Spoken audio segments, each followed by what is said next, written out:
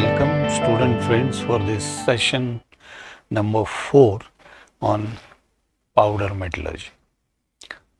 This session number 4 is focused on now powder metallurgy process.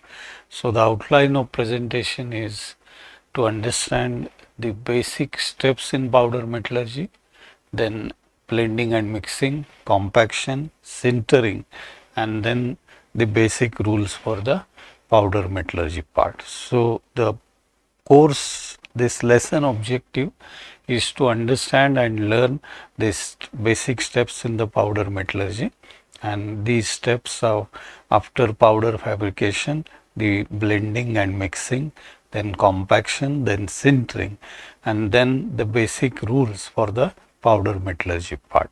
So, this covers the all aspects pertaining to the powder metallurgy. So, the basic steps are concerned the metal powder as two components of powder metallurgy. One is production of a metal powder that all the aspects relating to it we discussed it in lesson number 3. Now, this is a fourth lesson in that metal powder is ready now now that metal powder is mixed with some binders, additives to make it suitable, add some properties to make it suitable for that purpose and then that powder is taken for processing purpose. So, there are two methods one is hot compaction or cold compaction depends on processing requirement the particular compaction process is selected. So, powder is mixed while mixing the metal particles, the powder produced, then some additives, some binders, some lubricants to get that best mixture of the powder suitable for powder metallurgy process. Then the compaction process is carried out. So, compaction in cold compaction we have many uh, options, die compaction, cold isostatic pressing or rolling, extrusion and explosive compaction. Cold is normally at a regular temperature, but hot consolidation is at some higher temperature.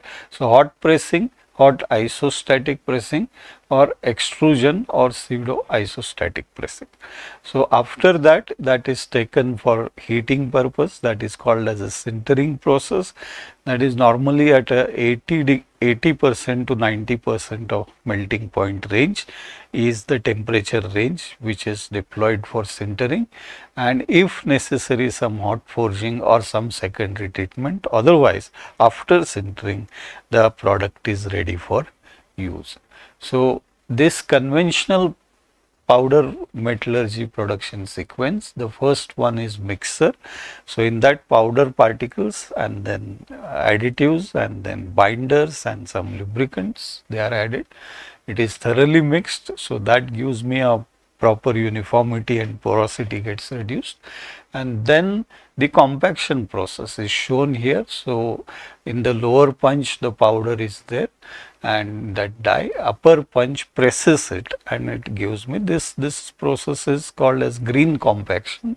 And then it is taken to the furnace the product that is for heating purpose controlled heating that is called as a sintering process. So mixing then compacting and then sintering.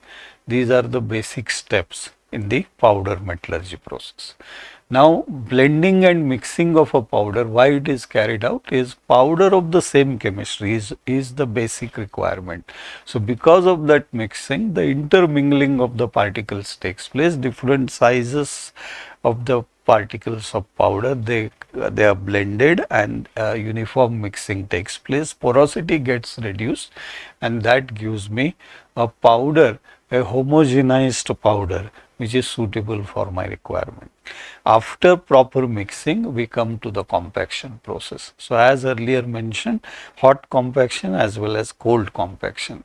So, high pressure to the powder is given to form a desired shape and we can deploy some uh, presses, press machines. So, the powder is squeezed in, uh, in a a machine with the opposing punches. And the work part after pressing is called as a green compact. And that green strength of the part should be adequate. It is again tested for its strength also and that gives me that is sent for a sintering purpose. So, this is a conventional sintering process filling the die cavity here the first one is shown. So, that lower part is die cavity is filled with the powder and then it is uh, the upper punch is you know uh, is placed in its position for pressing purpose. The initial position is just it uh, the cavity is filled upper punch is brought in contact with the powder and then the final position is it is still lowered pressure is applied and because of that the green compact uh, uh, takes place and then the part is ejected which is shown in the fourth part of this figure. So, first is filling that lower punch where the of the die cavity with the powder then bringing that upper arm upper punch in contact then pressing it and then ejecting the part.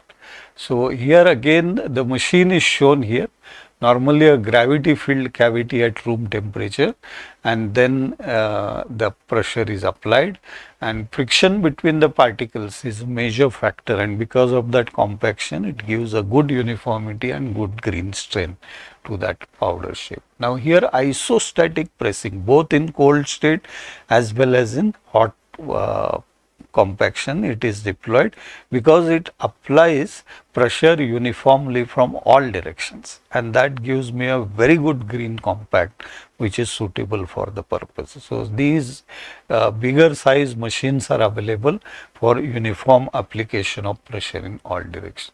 This is another machine shown here press for conventional pressing. A 50 ton hydraulic press is used for compaction of PM parts. So, such big machines, these machines you know gives me a very good rate of production as well as cost is for a mass production is viable. The next process is a sintering process. Now, the green compact is available that is uh, having a good strength. Now, that should be heated at a temperature in the range of 80 to 90 percent, 80 to 90 percent of the metal's melting point and then it is because the sintering is for reduction of a surface energy. And uh, the part shrinkage occurs due to sintering due to the pore size reduction. So, it increases the strength and hardness of a part because of a sintering. Now, what happens actually during the sintering process? It is shown in this slide in the four stages. The sintering process gives me a complete that strength and hardness which it gives me because at in the internal uh, structure of that particular green compact. The first when we uh, start that heating that is preheating stage, the particle bonding is initiated at a contact point and after that when uh, in, immediately when the heating process continues, the contact points they grow into necks and when the actual heating in the range of 80 to 90 percent of melting point of that metal starts, pores between the particles are reduced in sizes. So, that is shown in third and in fourth case when that heating process is over and then the slowly the temperature goes down for cooling purpose, regulated cooling, the grain boundaries develop between the particles in place of a necked region that is shown in the fourth formation. So, point bonding, neck formation, then pore formation at edges and then the uh, grain boundaries develop between particle in a place of a neck region. So, that means now a newly formed grain particles with a very good uh, you know product which is ready for use is available. Now, the, here the sintering cycle as we discussed in the earlier slide and a continuous furnace for sintering is shown in one slide. If you show their time against the temperature graph. The first phase is preheating phase, slowly the green compact is heated, it is a continuous furnace. So, when it is there on the platform, the compact is preheated, then it comes to that furnace, sinter furnace where it is heated in that desired range 80 to 90 percent whatever prescribed range. So, a, a definite time period is there and then slowly uh, when it is moved in the third phase, the temperature comes down and it is material is cooled and there is a continuous belt for flow through the operation. So, there is a continuous cycle, sintering cycle takes place and continuous furnace is available. So, this is the machine is shown here. So, that gives me more stronger metal bond and uh, if, if it is required additional processing in some cases otherwise the material is ready for dispatch.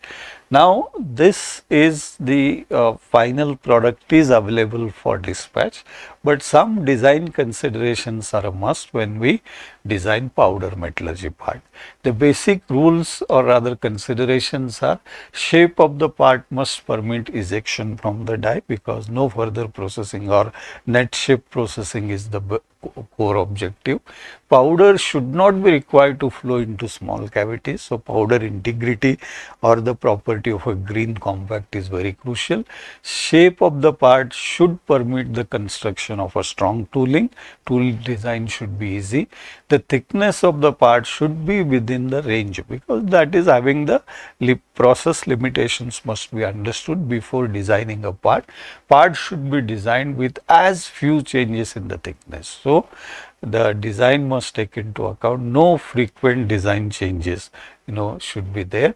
And the basic you know advantage of a powder metallurgy is that it permits us to produce parts which are not possible to produce with the conventional method or uh, again uneconomical uh, way, uh, aspect is there when you go for a same part in the conventional method. So, first thing is uh, in, in the parts which are possible to produce exclusively with the powder metallurgy. That is the unique, unique feature of powder metallurgy. And the second one is design should be consistent with the available equipment. So, equipment selection plays a crucial important. Product tolerancing, net shape, cost, quality, etc. These are very good things. The most important aspect basic requirement is design must consider to compensate for damage. Some allowances should be there because when we carry out uh, pressing and all the uh, dimensional change like we give allowances there on pattern the same thing here the de design should consider and compensate for dimensional changes that will occur after pressing. So, now coming to the different processing methods are there. Like cold compaction is there. In cold compaction various methods are there. Hot compaction is there. Various methods are there. So each method is having its own uh, uh, significance. So here this slide uh, gives you idea about the powder processing methods are there its characteristics and what is the outcome or uh, the viability of a particular process. So, first column gives us the characteristic aspects of that, the size of the workpiece, then second characteristic shape and complexity, third characteristic is production rate, fourth is production quantity, fifth one is dimensional precision, then density, mechanical properties and then cost. So, conventional press and sinter these under uh, whatever the enlisted characteristics just now mentioned that conventional press and sinter the cost is less but um, the shape complexity is good. But if you compare shape complexity for metal injection molding it is excellent. Then for uh, hot isostatic pressing it is very good. So, good, very good and excellent. So, in that you know if you see metal injection molding gives me shape complexity excellent. Production rate in conventional it is excellent and in hot isostatic pressing it is poor but in products powder metallurgy forging it is excellent. So, the method which is for production quantity conventional press and sinter is suitable for great more than 5000 parts. Metal injection molding is also suitable for more than minimum 5000 parts. Hot isostatic forging it is 1 to 1000 parts you can utilize it, but powder metallurgy forging here it is uh, only viable more for more than 10,000 parts. So like this, it is having cost, properties, density, precision, dimensional uh, uh, tolerancing, whether it's good or excellent or poor, everything is uh, the four methods, conventional press and sinter, metal injection molding, hot isostatic pressing and powder metallurgy forging uh, mechanisms. All these major characteristics are enlisted here. This forms a very good guideline for selection of a particular process for producing a quality product. Now coming after understanding the basic steps and its implications, let us go through whether we precisely understood this particular lesson. Uh, first quiz question is, which of the following is a step of a powder metallurgy? There are four options given there. The first says the production of metal powder. The second option says the consolidation and fusing of metal powder into solid metal. The third option it says the compaction and shaping of the powder. And fourth option says all of the mentioned. Answer is all of the mentioned because all those four stages are a part of a powder metallurgy. So that's why the, the first one, the production of metal powder, the compaction and shaping, the consolidation and fusing, all these are four stages of a powder metallurgy and that's why the answer is D, that is all of the above mentioned. The second question is what is the powder sintering process? Four options are given there. First says cold treatment used to improve a material strength and structural integrity. Second option says metal freeze to improve its strength and structural integrity. Third option it says thermal treatment used to improve a material strength and structural integrity.